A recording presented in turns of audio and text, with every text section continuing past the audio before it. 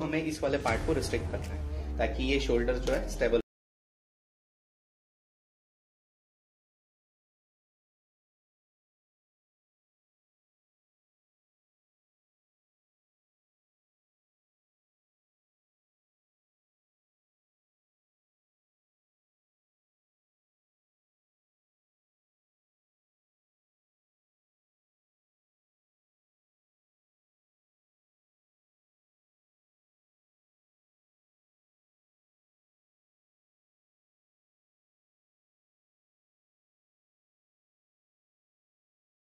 क्या है ये हैंग पोजीशन है, नीचे लटका रहता है। तो इसे हमें हल्का सा सपोर्ट देना है। इसके लिए शोल्डर का अबडक्शन किया 90 डिग्री और शोल्डर 90 डिग्री अबडक्शन के बाद में फिर हमें किए डायनाप्लास भी लगा देते हैं, थोड़ा सा ग्रिपिंग के लिए।